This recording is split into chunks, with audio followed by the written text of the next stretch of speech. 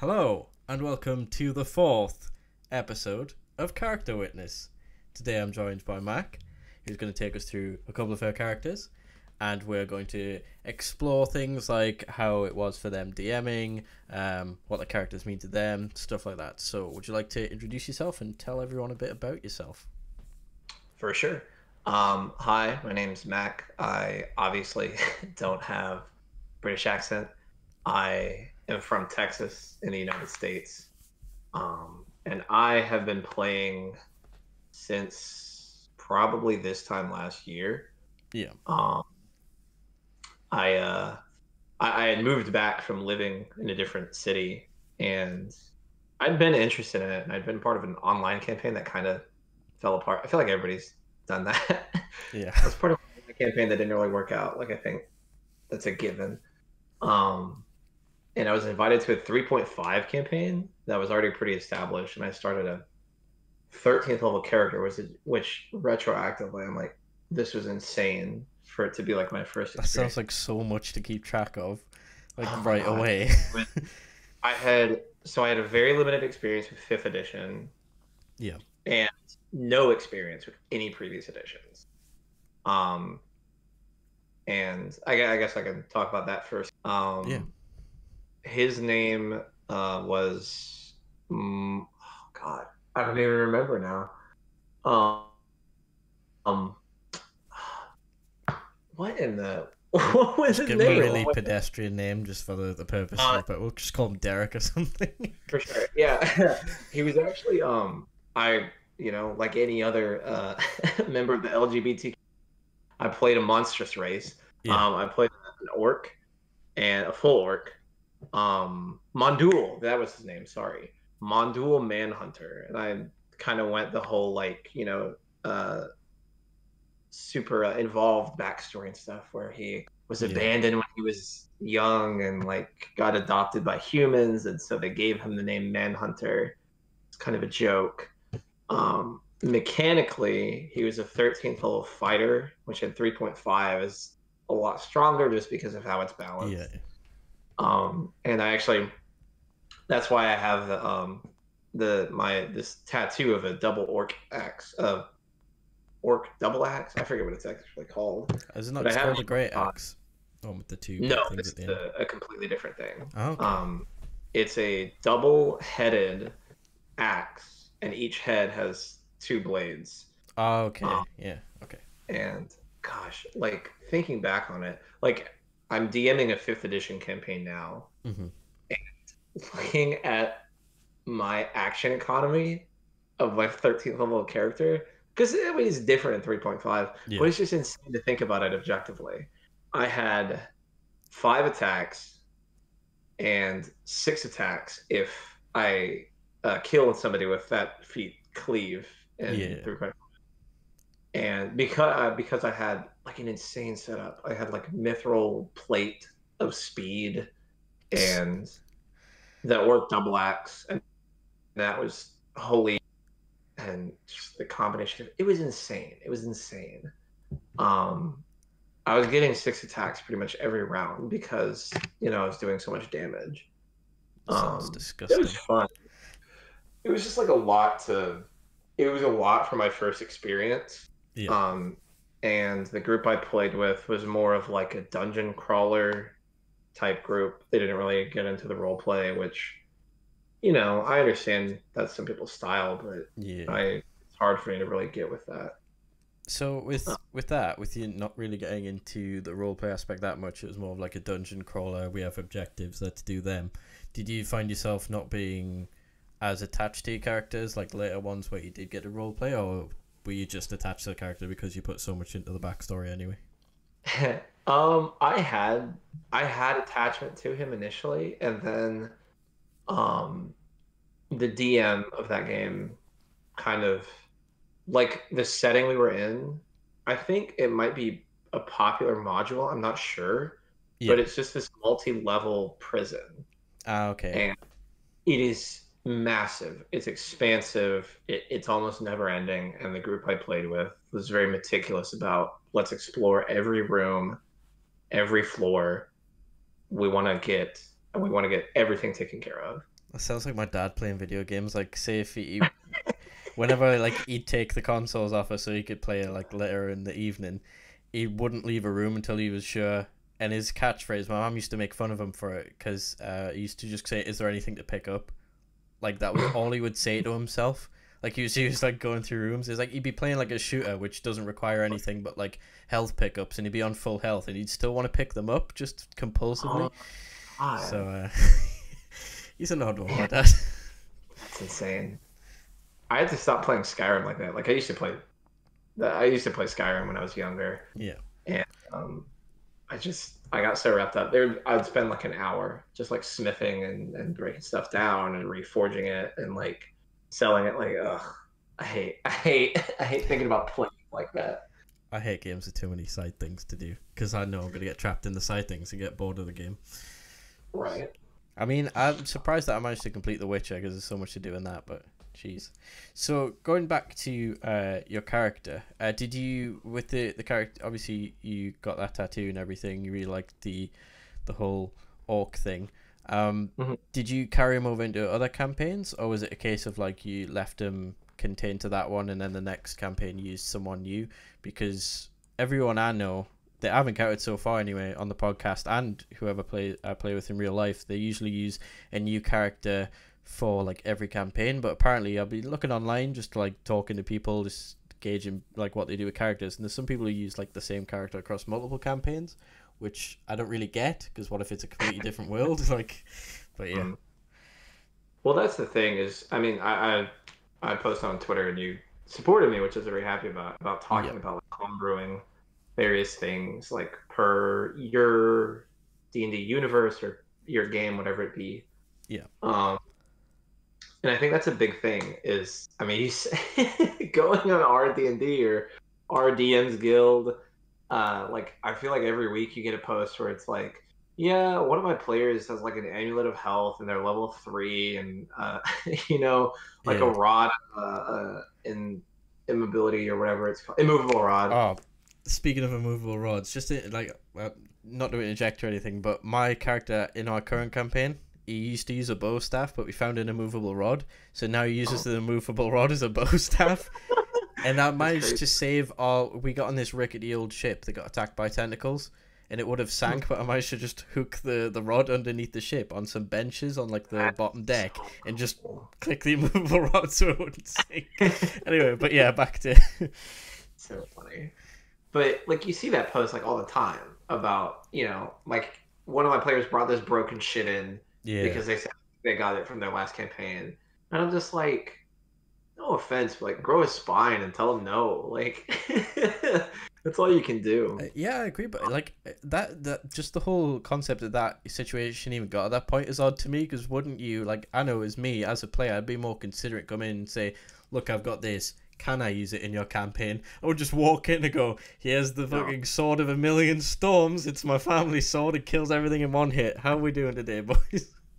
And it's like I'm just like different people's worlds are so varied. Like you have Yeah. end really enjoy magic and have a high magic universe. Mhm. You have other DMs who enjoy a lower magic universe where like magic is very impactful and very rare. And so like and that radically alters the items that you're going to find and use in that campaign. And so to bring in something from a different campaign, a different world, usually, is very you know, it's a game, but in that Yeah. context, it really kind of messes with the fabric of that reality. I feel Um, as though like you've got to establish a good relationship with your DM to like see how how much rope they're gonna give you, and then I do you listen to um Critical Role? yeah yeah Yeah. I think then there's even a there's even a fucking YouTube video on this, which I think is fantastic. Yeah. That talks about how Travis Willingham, who played Grog in the first season and who plays Fjord in the second season, Yeah. um, is a fantastic player. And this YouTube video talks about like how he's one of the best D and D players because he asks if he can do things yeah he accepts when the DM tells him either no or we'll do it this time, but we'll do it like this in the future. yeah yeah Like Completely, he has fun, but he goes along with what the DM says. And I think that a lot of people would do well to watch that or listen to that just because of how Travis interacts with Matt in that context. Yeah, it was sort of Is it- like uh, in the early episodes when uh, they still had um, Orion there, and he was like talking all kinds of shit, like I'm gonna do 50, 50 million backflips and summon hundred draconian knights, and everyone at the table was like, uh, Matt had to be like, yeah, may- maybe we can't do that, but yeah, I find it just the consideration going both ways has like helped me form my characters because it's like it also helps me to reel things in because like when I'm speaking to Mike, my DM, like every now and then I'll get like this harebrained scheme to do something, but even so, I'll go out like, Mike, stop me if this is God modding or whatever, but can I try this? And he'll go, no, that's ludicrous. Or yeah, but we'll have this many checks for it. Like I, I, I- maybe it's just because I'm a polite person, but I've never understood people who just say they're doing things without consideration to the story. feel that so. It's just like I, I I tell I tell my players don't metagame. Yeah. Because and there- there is a difference. I've talked about differences between like metagaming and power gaming. Power Yeah. gaming, totally.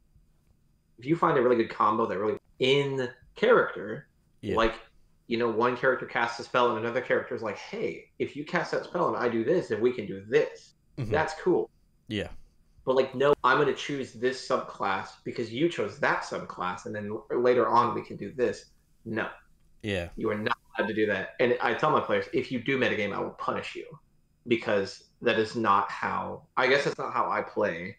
But I, I, I also think that's like, it, it's more fun to kind of naturally form both a rapport and like a cohesion yeah. in the game as opposed to just you know exploiting every broken combo which yeah. to be fair fifth edition has very very few of those But it's like Um, because the one where it's like if you do this, I'll do this, and we'll see if it works. That's improv, which is an essential part of the game. But like planning like fifty sessions ahead, to, like maybe one day we'll be able to do this magical spell. is just manipulation of like the game mechanics, right. like, way far in the future, and it's unfair to the DM because like yeah they got they got shit to do man. They gotta kind of fuck you up a little bit because that's mean, the game. you're just asking to be punished because you're like, oh, once we get a level twelve, we could do this, and the DM's just gonna be like, right, here's a monster, and it's gonna kill one of you. here's a wizard with three level 9 spell slots. Oh and they're just gonna use a reaction to cast spell against you. Yeah. Also, he's got two other minions that are also going to cast counters against you. Fuck you. like, they can totally plan back. Like it, I don't. Yeah. I don't know. I don't. But um, uh, D I I've, I've DM'd as well. I kind of started DM along the way Yeah. uh, when I was doing that 3.5 campaign, and I've really enjoyed that. So to go back to your characters, um, we've got a Mhm. picture on the screen. Well, you can't see, you can't see my screen because we're on Discord. But we've got the first picture here, and it is of what looks to be an orc person. Yes. Is this the Um, orc from your first campaign? Is it an orc from another campaign? Is he even full orc? Is he half orc? he is full orc. Um, he is actually um, a player character I had made that I turned into an NPC. Yeah. Um, this is I, I just remember this is actually um, I created another NPC, uh, Mhm. another character, excuse me, um, who was a half orc cleric, and then I doing some like fleshing out of this character's backstory. I was like, well, who are his parents? Yeah. And that's where this guy came from. Uh, Ah, okay. uh, this is uh, the father of another character I've made, but this orc in particular, his name is Vakgu uh, Bloodbone, Okay. and he he has a twin, uh, Vograk, and they are a pair of smithing. Uh, they're a pair of smiths that Yeah. live in my universe in the town of Tribor, um, and they have actually they've actually encountered the players, and um, he is I believe I made Blo- uh, Vakgu the uh, metalsmith and carpenter of the twins. Okay. Um, so he makes a lot more weapons, whereas his brother makes armor and uh, other armaments, shields, etc. Put shoes on Um, horses and stuff. Yeah, exactly. And this was um, I'll actually shout out the artist. Um, I've got her email pulled up. Nice. Uh, her I, I don't remember her actual Instagram um, or whatever page she published this on. I actually found her on Reddit. Um, Hmm. but her uh, her I guess brand name is Haley Olivia Art. Okay. Um, and she's the uh, artist of this fine fine young man. Excellent. Um, yeah, and I'm very very happy with this rendition of him. That's very good. yeah, I like it a lot. And I like this style of kind of of like the classic fantasy art as opposed to a more, I guess, cartoony style that I see Yeah. popularized like popularized with Hero Forge and other artistic mediums. It looks like like a, a concept art you find back when they still put character portraits in video game manuals before they decided Exactly. to eco-friendly. Those those bastards. Um, Mhm. and I'm always jeal- jealous of people who can draw hands properly. So limbs, why are they so hard? Um, I'm trying to draw too, just so I can kind of get some more yeah. uh, representations of the things that I envision in my universe. Yeah, it's really frustrating for like me as as a person personally because I'm like I've got all these cool ideas but no artistic talent. Unfortunately, all of that Right. went into my brother. I Um, so I'm like, oh, this would look so cool if I had any talent whatsoever. But yeah. So, what was the sort of inspiration behind him? Like, was he inspired by any sort of like blacksmiths in other fantasy? Was he is he based on anyone you know in real life? Anything like that? Hmm.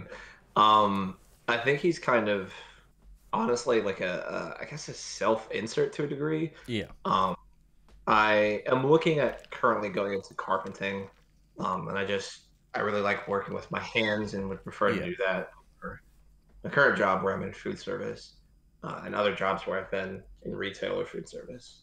Um, and so the idea, I guess, of of metalwork and woodwork both really appeal to me. Yeah. Um, obviously, it just kind of came from thinking about who that other character's parents were, and then kind of through that flesh this person out a little bit more.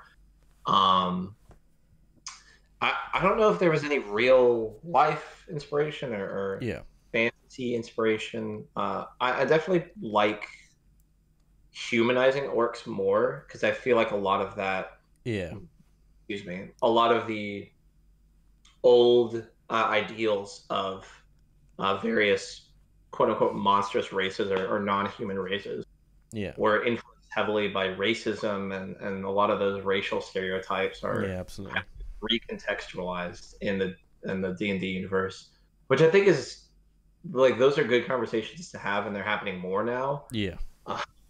But you still have people that are like, yeah, all orcs are evil, and you're gonna kill the orc and all got they all all they care about is war and they run in large tides and threaten regular civilization civilization in quotation marks um Yeah. but yeah it's like uh, not like even past the, the racism thing like you've got other races like um dwarfs always like the stereotype of like uh, either irish or scottish drunks which is their stereotype in real life and it's like come on lads it's it's it's a strange place to be so perfect and beautiful. I'm like, come on, like it's so on the nose. It's so obvious. I think my my aversion to elves when I was a child sort of like I wouldn't say radicalized me against them, but I've always just disliked elves, even though I technically like my current character is a wood elf. I feel like wood elves are just like they just happen to be elves, but they're just they live in the forest. They're not too worried about oppressing people.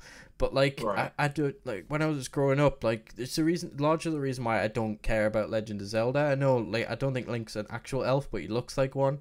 I, I don't know if that's video game racist of me, but like, so. But and when I was little, I was like, I don't care about being a little elf boy in the forest. Like, I want to shoot lasers at my hands. I care about superheroes. Like, I don't. And like, whenever there's like, um, like Lord of the Rings, everyone's like, "Wow, Legolas is so talented." I'm like, yeah, but I like someone to be more rough around the edges. I much prefer like Gimli or. Aragorn. Like, they just seem so like haughty and like above other people, and like specifically above other races. Like yeah, you know, elves are, and you know, Tolkien did inspire this. I think yeah, the kind of longevity of elves versus uh, humans, even dwarves, even like uh, in D and D halflings and in the Tolkien lore, uh, hobbits. Um, they're just like longer lived and so kind of pseudo philosophical in that regard, where they think themselves to be above others because they live so much longer than them. Yeah, so Say, like well- lobsters, they can't die unless they're killed. So I've learned so much more. I've seen so much more than you have, and that's what makes me better. it's sort of like, like to me they represent like just old people in institution like institutions that are outdated because like oh we know we know best. This has been in place for 300 years and then they're all they're always rigid. They refuse to change their point of view and then show up at the last minute when they're like okay maybe everyone else was right. It's like yeah. Yeah. They're like boomers. As a race, essentially. exactly. They're they're they're mythical sprinkly boomer people who live in ivory towers and stuff. Plus like everything else just seems more fun. Like it, everyone else has more character to them whereas elves always seem to be like just one thing. And when people make characters out of like elves they usually like add flavor to them because they need to add flavor to them rather than like say an orc. Like because they're an orc they obviously have that uniqueness right away. But an elf is like is like yeah he's gonna be like floaty blonde f- just being an ass to people. But uh, there was one time i did dm a campaign at work like a after work a couple of sessions. Didn't last because like people had different shifts and stuff. But there was a Mm. guy i work with called andrew.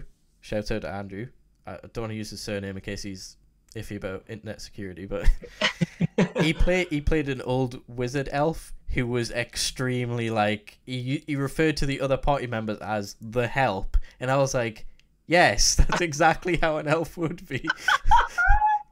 That's so funny. Yeah, it was he was. I hated his character, but in in a good way, Oh, yeah. obviously.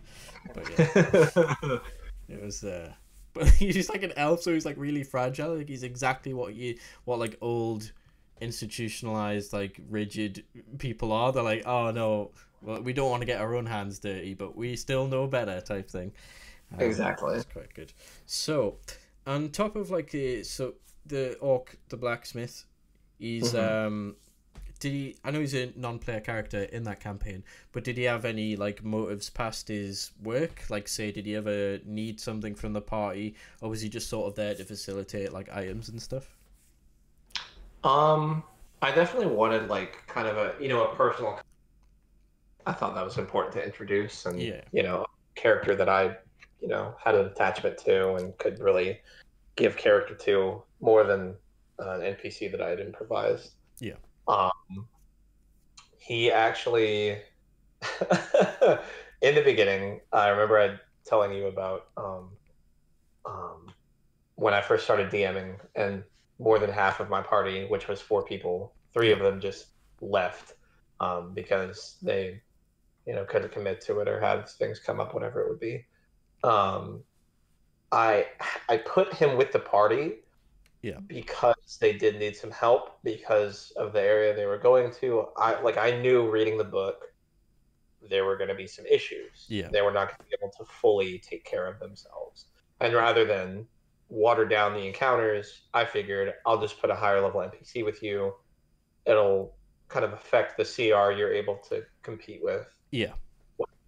Um, and in characterization with him, like he used to be, he and his brother used to hunt and kill uh, beasts and other uh, kind of lower level bothers to towns when they were younger Yeah.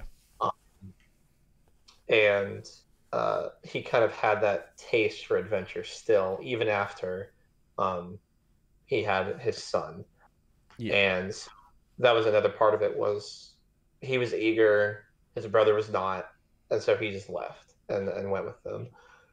And he actually, I think, had the the I'm playing uh, the Lost Mines of Phandelver campaign, so I guess Yeah. spoilers if you're playing that or whatever you want to play. This is fairly minor. It's not going to affect overall Yeah. uh, your campaign experience. But in the town of Thundertree, like early on in the campaign, um, there's a dragon that's hiding in a tower, and I'm very much like, like opposed to make your players avoid an encounter thing. Like fuck Yeah. no, they're gonna try and kill the dragon.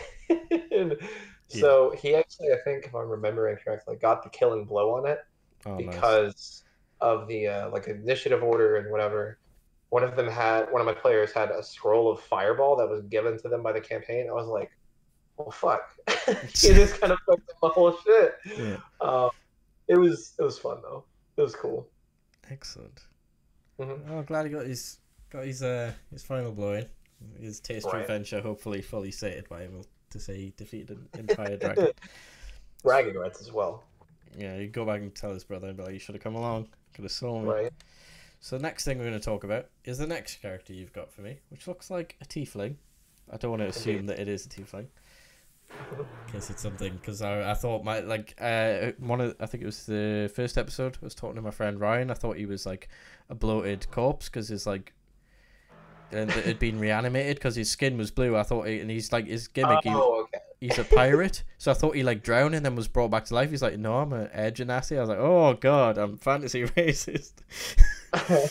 But yeah. Well, yeah, those are when you're hitting like that. That's where a lot of people's knowledge falters. So, like you know, Yeah, because I, I don't know anything about extended editions, like extra Oh. races and stuff. So but she is a tiefling. Nice. Um, this is the first. Her her name is Akota, uh, as uh, displayed on the character art. Um, which this is actually the campaign that I'm playing. yeah, um, not as a DM, as a player with a new group of people. And I'm going to shout out uh, my fellow party member. Um, name is Anthony, and his uh, Instagram username is uh, at Grym underscore jack. nice. Let me make sure I'm typing that out right. um, what are my messages? How do I access my messages? I don't know. Um, direct messages. Here we go. Sorry. Um, yeah, Instagram. Oh, sorry. Grym underscore Ink. is his Oh, okay. Instagram. Um, so uh, hit him up if you want some commissions or some portraits because this one is really cool. I really enjoyed it. He actually just kind of, I didn't even realize he was his character was like busy guarding kobolds, I think, and didn't actually get to come down and, and participate in combat with us. Yeah, So this is what he was doing during that encounter, which I thought was nice. amazing.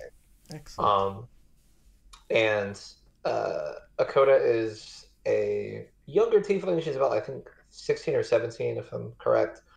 Um, and in this universe that our DM has, she lives in the town of Enwick, uh, which is mostly a human populated town. And she grew up two tiefling parents who moved to, to try and find work. Yeah, and uh, so you know has had her fair share of scraps you know being called a demoness or a, a you know yeah, L whatever it would be. Um, and she is a wizard she actually studied under the the local wizard from the town um, who caught her trying to steal a spell book and said you know what yeah. don't like try and punish her. I'll just teach her since she wants to learn. So um, I, I like her a lot. I haven't. I've kind of tried to steer away from giving new characters that I make a lot of backstory, Yeah, just because you know, as a DM, I've I've learned that when your players bring an insane amount of backstory, sometimes it's hard to incorporate it or really pay attention to it, and a lot of times it's easier to bring a, a kind of rather uh, regular character and then have them form their story through the campaign. I Yeah. much prefer. it. Or I feel like it's okay if like they bring a lot of backstory that isn't entrenched in a specific world. So like it might be like three pages about like their moral code or whatever. Like that's fine 'cause Oh, it doesn't yeah. affect the world that like the DM's making. But like they say, I grew up in this specific town and this cataclysm happened, and the DM's like, okay, I guess this happened in my world without me Right. noticing. I guess. And then another player's like, "Well, I lived over there," and you're like, "Went through a cataclysm at one point." Everyone's parents got shot in an alleyway, and now we're all Batman. yeah. So. um, So with her being like uh like he's so he grew up in a human population, gotten some scraps and stuff. Did she ever accidentally kill another child with a hellish rebuke? Uh, no. um, I do. Um, in my description of her, um, which I'm hoping to draw at some point, um, her horns are actually uh, connected, kind Yeah. of, I guess, brow style. Um, and she has some scars and scratches on her horns Yeah. um, from like headbutting people that pissed her off or Nice. tried to harass her. Cool. So that's very um, much like a ram. Yes, kind of. I mean, you know, not to be too much of a Texan, but um, kind of her horns are much smaller, but I picture them more as like longhorn style, yeah. where they protrude to the sides, and so her uh, her head is a battering ram, but she prefers to she prefers to cast spells and maybe not get so many scars on herself anymore. So, what was the decision behind making a, a wizard? Because a lot of the time, um, tieflings are just like, ah, I look like a demon. I'm going to be a necromancer. um, I we had talked about um, we we metagamed a bit in our Yeah. creation of our characters, but it was more so like getting party composition balanced as opposed to like the whole subclasses thing. Um, so if I'm remembering correctly, we already had two barbarians who like were fine accompanying each other yeah. and chose different subclasses. And we had a cleric and some some others. And so I was like, well, I really I have I hadn't ever played a caster.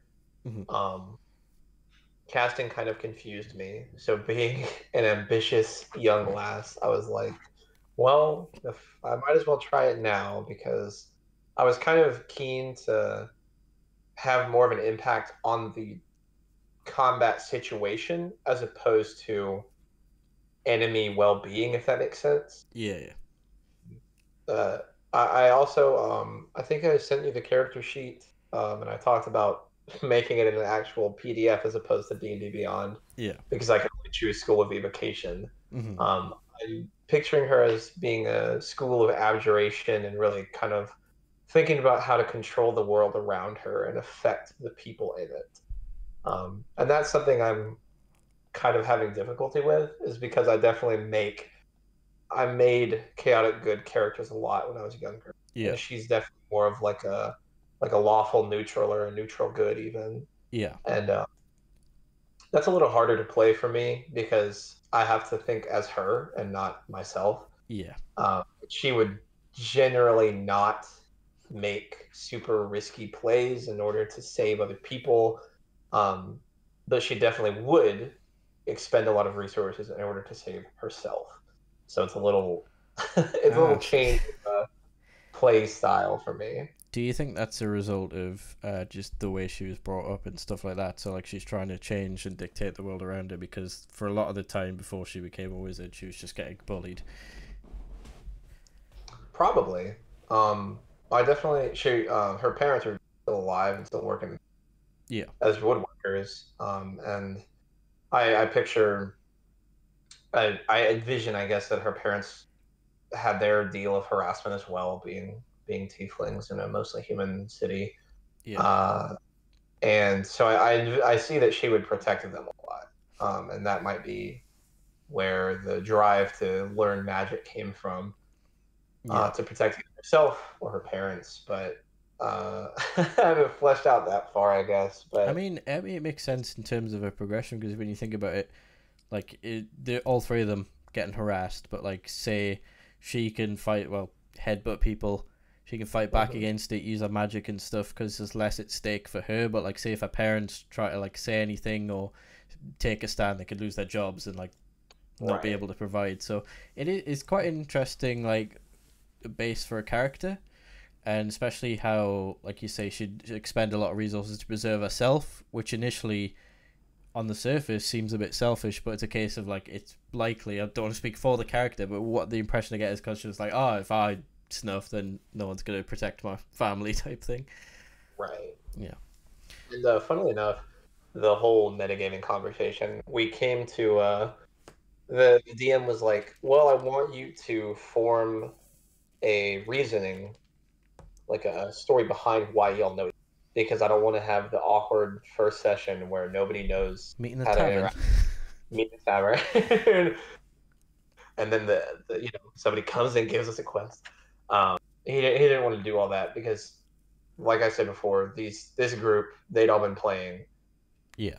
for generally longer than I have been alive, or uh, if not that, before I was born. So um, I respected that decision, and we formed this story that uh, one of the barbarians he uh, is a like a cage fighter, like an arena fighter, Yeah, yeah. but we're all like gaming the system for him. Like Ah, I'm casting spells to affect either him or the other uh, enemies. Um, the bard is like providing him inspiration. Uh, the cleric is you know there for heals and stuff. So like just a really cool kind of. Uh, That's really cool, actually.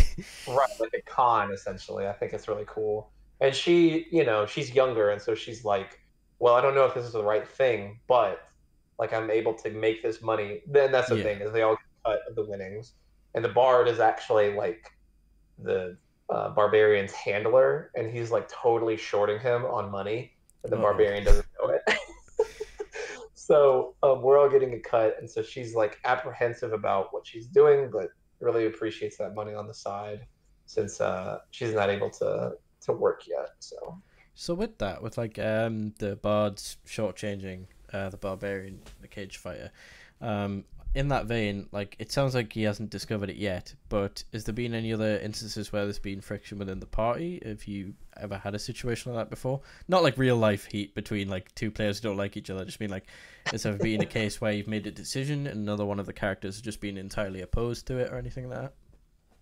not really. The barbarian is pretty amicable. Yeah.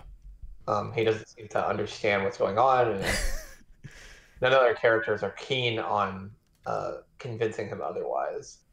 Uh, I've thought about it like as me. I've thought about Akota saying something to them, maybe in a heated moment of uh, being irritated with the bard, and I think she might be. Um, I think she would be irritated a bit with him, just because he is uh, he's a bit haughty, but Yeah. these are these are all in character interactions that are going to happen um, that well are going to happen that have not happened yet that I've just kind of like given thought to, not necessarily planned out. If that makes sense. Yeah. So what I well, obviously again you can't see my screen, but I've got your character sheet up here. So I'm just Mhm. looking at your stats, and it seems pretty in line with what a wizard would be built like, like minus one strength, which is fair. Um, no modifiers on dexterity, uh, plus one constitution. That's quite interesting. Um, does that come from any like natural bonus of being a tiefling, or was that a conscious decision to give yourself just a little more HP? I think they get a what do they get a bonus to? I chose the base tiefling because I know one uh, of them is charisma, isn't it? Because they've got like influence over people because they're demonic to a degree. Let me actually. Where's races? Here we go. I'm gonna actually look it up because I don't really remember. I don't either. So Uh, that's fine. oops. Tiefling. Here we go. Tiefling gets plus two to charisma and plus one to intelligence. Ah, okay. So, um, I think doing that we used um we used point buy for Oh, okay. So I willingly took the um hit to uh, intelligence, knowing I'd get the plus one. Same with charisma. Plus charisma was not going to be um, my main stat, so I, I didn't Yeah. really put that much into it. And obviously, character wise, being a tiefling, I'm imagining like, you know, you're not the most charismatic. Um, given your appearance, generally has people have a, a predilection towards you or against you rather. Um, so, well, I guess that's not fair to attribute to tiefling. I would attribute it to her. She's not necessarily the most friendly or Yeah. like kind of smoozy. She's just like, I'm going to talk to you, and whatever you think, you're going to think. So I took the hits to those, knowing the bonuses would either balance it out or not really matter. Yeah. Um, Constitution, though, I again a little metagamey, but I just being a fucking squishy class, like I didn't want to be susceptible to um, kind of the, the issue of getting shit HP rolls. Yeah. Getting so- picked off by a with low die low at each level level. ranger character on the other team. I mean, you know, I'm, I'm happy to make another character, but I just I uh, I was afraid. Um, I heard with the players being older than me, Yeah. um, they told me so much about like getting to level two as a wizard in first edition was like a slog and was like one of the hardest things ever. And you pretty much just had to be ready to re-roll another character. Yeah. Um, so, and I'm, I'm feeling that a little bit in my first, in our first session, we had some combat and I used my two spell slots and then I couldn't really do anything. and that was a, a hard spot to be in. But I think uh, that fits the class very well. yeah. Like, there's kind of that balance between the, the, the dichotomy between casters and martial classes that are strictly one or the other.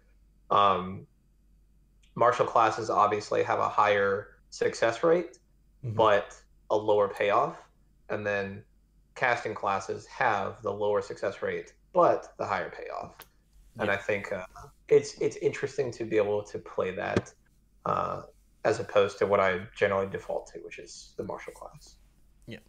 So in the in the skill section, um, Mhm. it all looks pretty wizardy. You've got Arcana, History, Investigation, like things you'd Mhm. expect from a wizard. You've also got the specialization in Intimidation. Um, was that a conscious decision? Is it something you just get? And do you think that would be useful just to play on like people in that world's prejudice against tieflings? So like sort of take advantage of that. So if someone has this predisposition that you're a demon, you could probably play into that to intimidate someone. It's actually, uh, I think it's a the bonus from uh, the tiefling. I'm gonna actually look at it. Yeah. Uh, tiefling traits, Infernal Legacy, you know, the Thaumaturgy cantrip.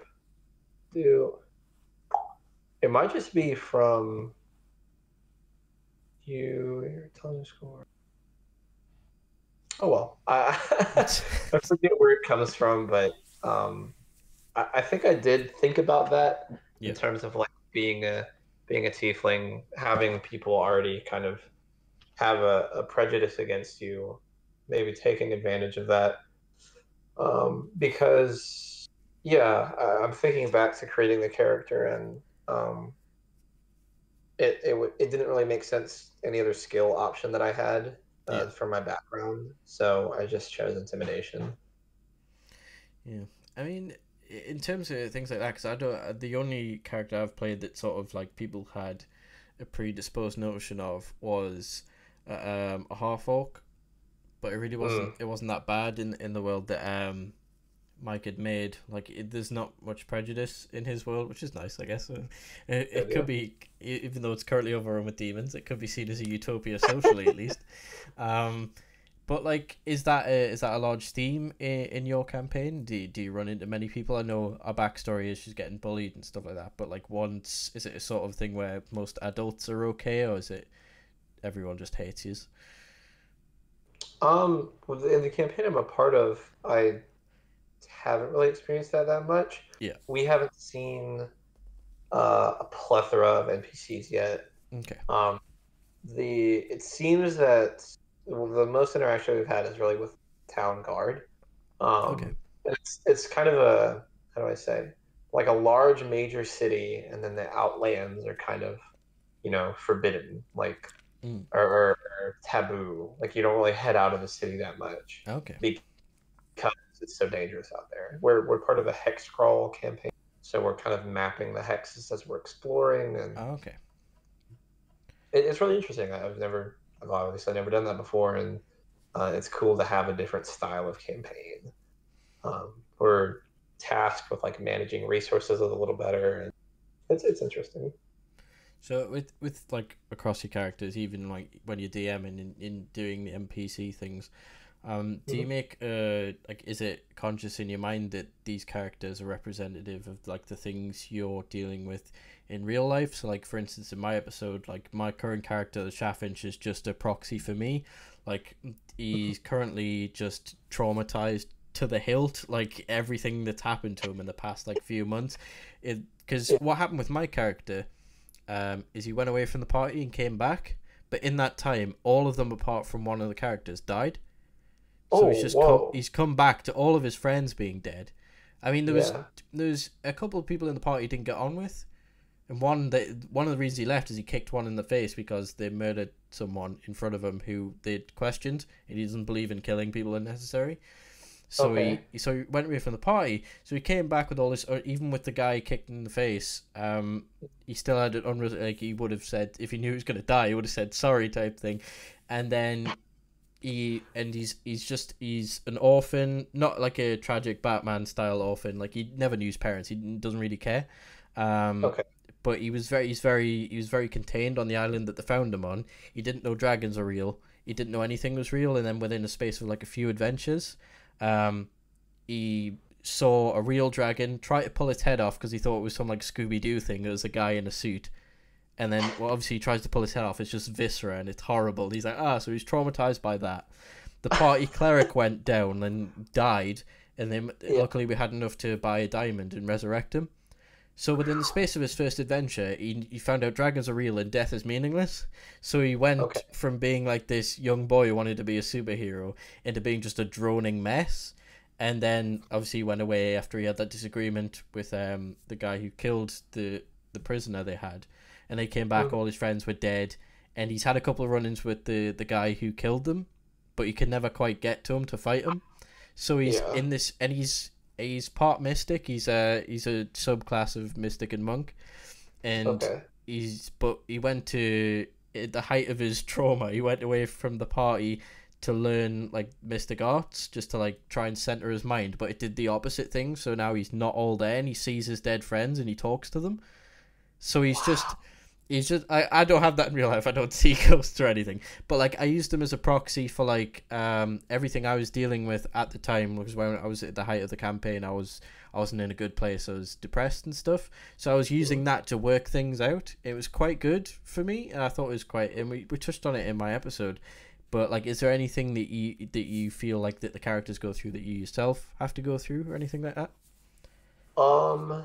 Well, I, I I guess I neglected to mention it in the beginning, introducing myself. Um. But uh, I'm, and Yeah. uh, I identify as female. I use she/her pronouns, and I obviously don't sound like a lot of uh, women, or or I don't sound like what people think a woman would sound like. Yeah. Um, I haven't done hormones or, or taken anything to change physically or, or Yeah. anything of that sort. Um, which you know, I want to preface like doesn't mean anything. Like my identity is still valid, regardless Yeah. of that, etc. Um, but I, I, I've I haven't actually come out to um, the group that I play with. I've come out to the group that I DM because uh, uh, other players that are in the LGBT community, and I just I wanted to be comfortable in my game. Um, Yeah. But that I mean, there might be something to say of that. Like a lot of L- members of the LGBT community, I feel gravitate towards, you know, the half orcs, the tieflings, the dragonborns, whatever the the non-human race would be, whatever it is. Yeah. Um, uh, I think there's I think there's that. Um, but for the most part, I think she's just uh, again kind of an idealized form Yeah. of myself, uh, which is you know a bit strange because I said Vakgu, the earlier orc character, he's a self insert. Um, I definitely kind of appreciate being strong, but I definitely present myself as more butch than femme Yeah. but I also I enjoy kind of femininity. I I've got my ears pierced. I um I have this shirt that's a little short, and so I'm gonna make it into a crop top. And Yeah. Playing with the fluidity of gender and gender presentation, I think, is something that's important to me. Um, so I, I explore that in my characters essentially. I think Um, th- yeah, because like uh, I think like a lot of people in the LGBT community, they like from what I've seen, everyone just loves D and D so much because it's just a chance to just be who you are in this world where anything is possible, and it, it's a Mhm. bit sad in term not sad as in like the negative connotation of sad, but like it's sad in a way that like they have to be in this fantasy world to finally just be comfortable and do whatever they want. Um, like uh, well i'm i'm i'm bisexual um so but it's never like it's not as hard for me. Like I'm just what like uh, you get the comments like oh the greedy blah blah. It's just spicy straight, you know. Like, so it's uh, like obviously it's not to a level of like I don't know how uh, a trans person feels. I don't know how a non-binary person feels, or somebody who uh, who just doesn't feel comfortable no matter what they identify as. So it, my like my experience, like both my characters are completely asexual, and it's not because oh. that was a conscious decision. It was just a case of like I don't think either of my characters would care about sexuality. Like the first one was a pacifist barbarian who just wanted to spread the word of pacifism, and like make sure he didn't lose his shit all the time. And then wow. in the Chaffinch, who I'm playing right now, is just too depressed and scared of the world to consider putting his putting himself out there, like trying to chat people up. He's he's mm. still got the very traditional "I'm a hero, I must protect," like the fair maidens and stuff. But it would be a case of if he'd re- if he rescued like a princess and she threw himself at him, he'd be like, uh, "I don't care about this. Bye."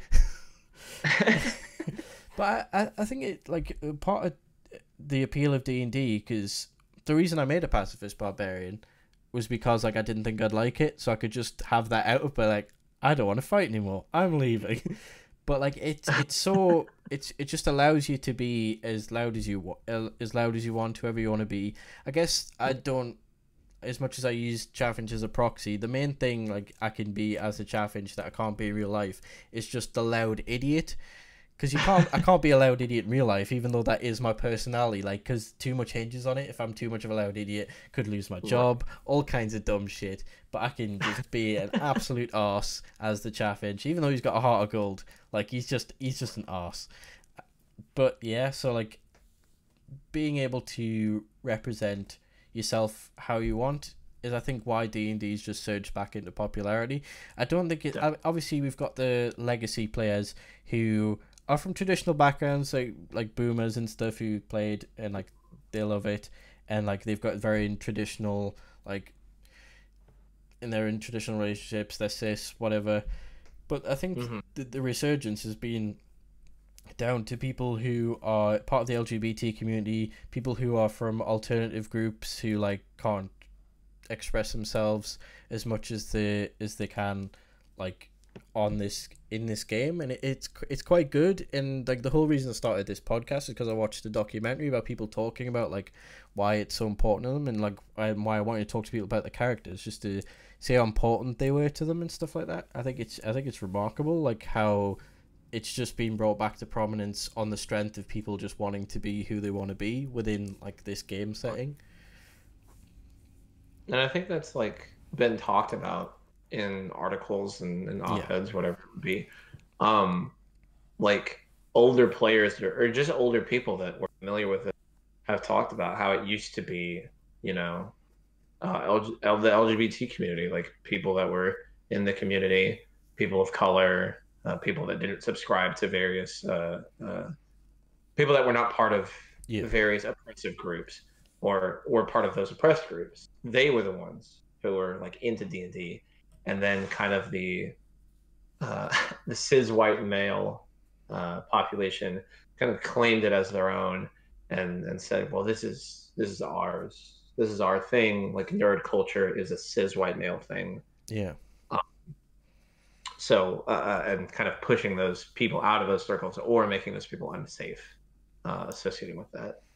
And so it, that's another thing that makes me very happy to see kind of um, new age uh, celebration of it and celebration of yourself. Because you know, people.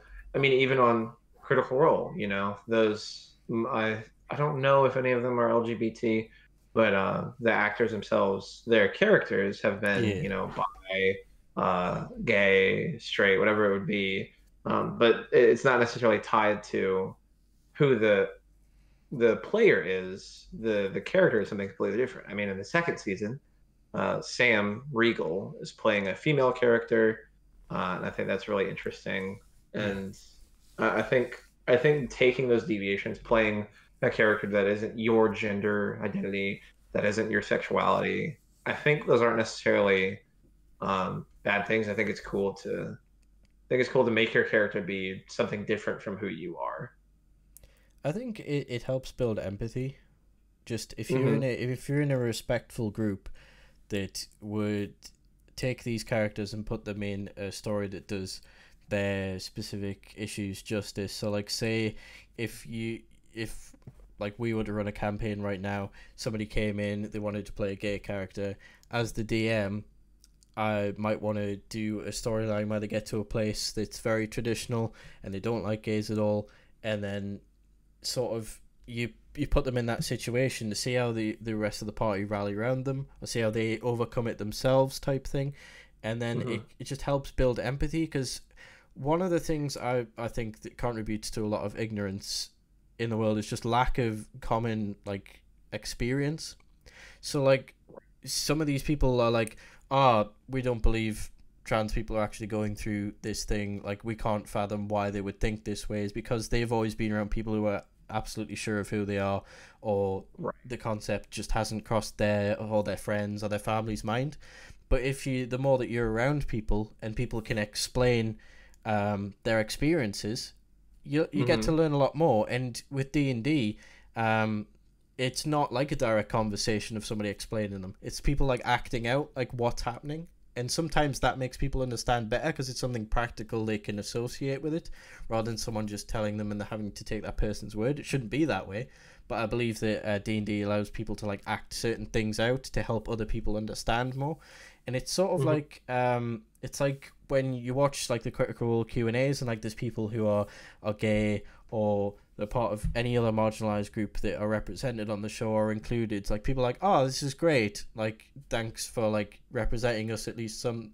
some Right. way so like we can feel included because there's a danger if like say a show like that was full of uh heteronormative people and then everyone if that's all they saw every episode for like three years people will be like ah it's full of those type of people. It must be for those type of people. So i think Right. it, having an inclusive group and a group that's willing to explore those topics respectfully it should never be an excuse to be like oh today's campaign's going to be about racism. This gives me the excuse to throw the n-word around. It's a ra- racism role play. chaotic.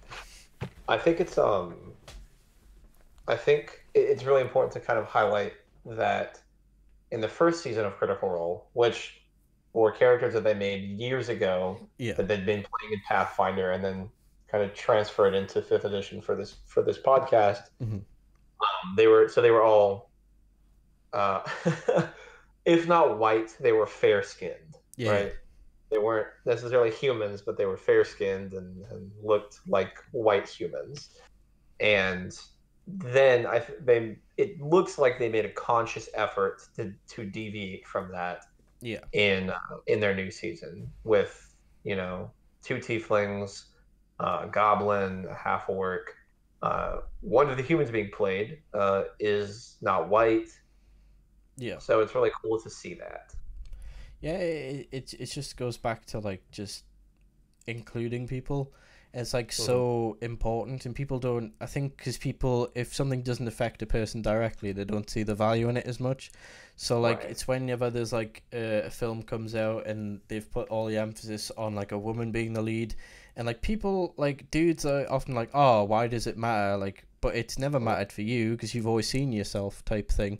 Like the the the the sheer amount of money that Captain Marvel made, despite all of the the negativity it was given by dudes, it was like because it wasn't. While it was like, well, I don't, I don't think it was for me. I enjoyed the film regardless, but it really wasn't Right. for you, and it doesn't need to be for you. Like you can enjoy it. It's the same with Black Panther. That really wasn't for like me as a person. I still enjoyed the film, but I still acknowledged that wasn't for me, and it had its place and it had its purpose, and I'm not going to stand in its way. It's like it should be very simple to like just put something out there that's like this is for that person this is for that person but it can all Right. coexist in the same sort of universe And I also kind of hate, I don't, I don't necessarily hate it, but kind of, we're both white. I don't really enjoy kind of the white performative, like, well, this is why Black Panther is super cool. This is, uh, or men being like, this is why Captain Marvel is super cool. Yeah. It's like, you shouldn't have to bring validity to their character to let somebody have that. Like, you know, like there how many shitty movies are there with men in them? How many shitty movies are there with white people in them?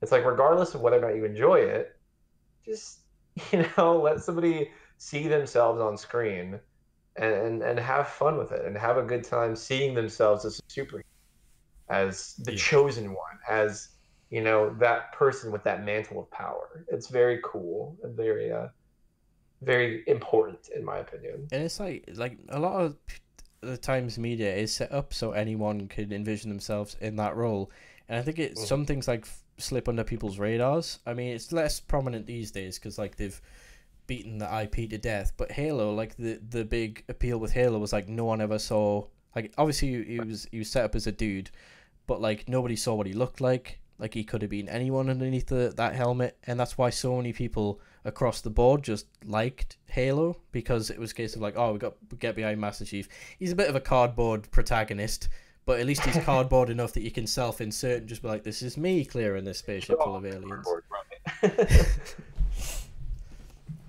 But I just think um, the fact that D and D is sort of a role play and Im- improvisation, it just allows for like anything to happen. And in a world and in a realm that anything can happen, it would be sort of ignorant not to include all kinds of people and all kinds of experiences, because right. in that case, you're just replicating the world that we live in, just with like a couple of elves hanging around. It's like, thanks. Except you can blow people up with a cool little fire spell. Yeah, and then it just becomes like that's just some weird murder fantasy you have. like, I want a world Murder. exactly like mine, but I can throw a fireball at an innkeeper. Man, yeah, I love D and D. I'm very happy that I've gotten into it and, and kind of had more experience with it now because I definitely was super into it when I was younger, uh, but didn't really have kind of a way to get to actually play it. And now that's that's changed a lot, so I'm very happy. nice. So, in, with that in mind, as we sort of wind down this episode of the podcast, one thing I like to ask people right at the end is: Are there any characters you've yet to play yet that you'd like to play? Do you have any like ideas brewing of like, say, in the future, if one of your characters died, have you got like a great idea for your next character, or do you want to keep that a secret? Um, I kind of haven't thought of uh, thought of any other character ideas. Um, I have been talking to an old friend, Yeah. from middle school, uh, who says that they're interested in playing a campaign. So we'll see what happens with that. Um, I've thought about I don't know, thinking about it now. I'm like, well, I would like to play a barbarian or Yeah. monk, maybe another martial class, maybe a martial class casting, a paladin perhaps. Uh, but I I, I kind of like to let it hit me when it hits me and not try and premeditate it too much. Yeah, I- yeah, I, I fell into the trap of premeditating it. I've got like seven characters in the chamber ready to go.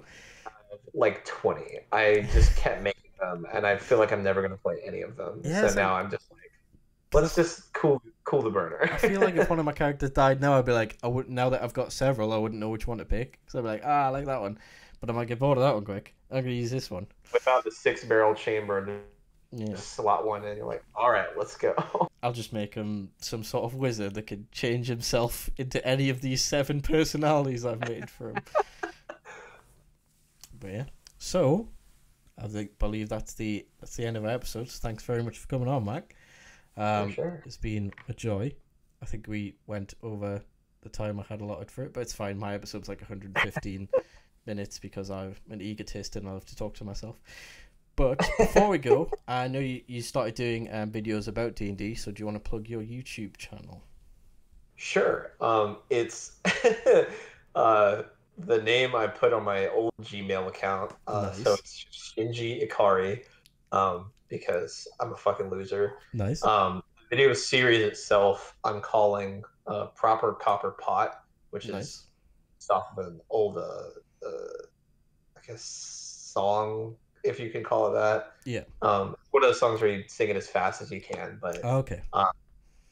you know, homebrew, brewing, coffee, whatever, because I am Yeah. obsessed with having cute titles. Um, so proper proper copper pot by Shinji Ikari on YouTube, and I talk about um, various aspects of stuff I've homebrewed uh, for my campaign, and and kind of trying to turn that into advice to give to new DMs. That's good. All right. I also like get the stuff and links to it and put it in the description when I set the podcast Cool. away. So, thank you for joining me, and that has been another episode of Character Witness.